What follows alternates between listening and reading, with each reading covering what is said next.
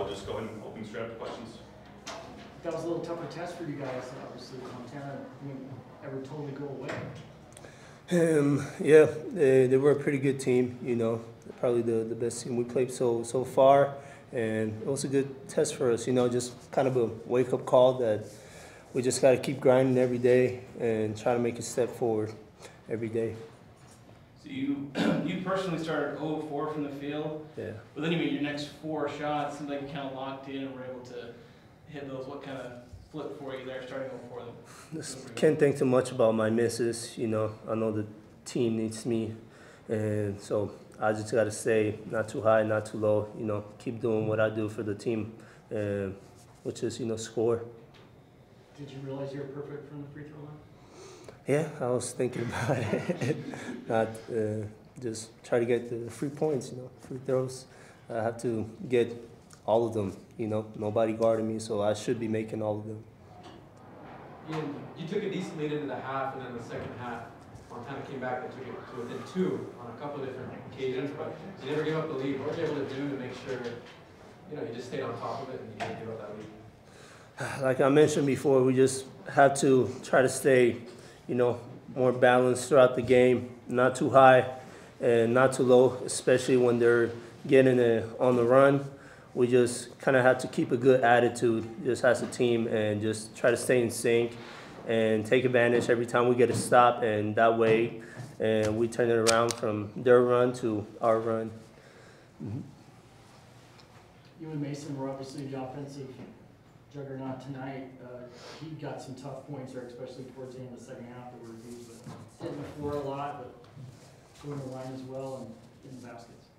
Yeah, it was just one of those nights where, you know, just a couple guys happen to be clicking, you know, scoring a lot. And and like I mentioned before, I think we have a lot of, of depth. We're a pretty deep team, so you know, we could have some other games where there's some other two, three guys that it's just kind of their time to shine.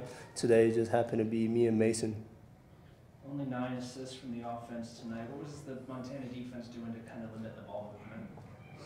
not to totally discredit them, um, but I think it was more on our end.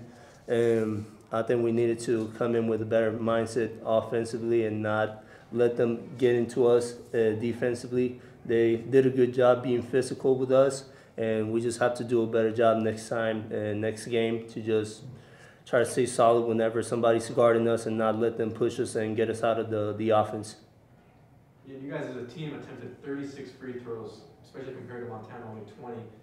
What was it that you were able to get to the free throw line so much? Was it just more aggressive, or what do you think contributed to that? And we just took advantage of the other team being aggressive on defense and ended up paying off well. And like we mentioned, me and Mason, I think AT also got some free throws, you know, just uh, being aggressive as we drove to the basket or when they close out. For me, I got fouled in three point line a couple times.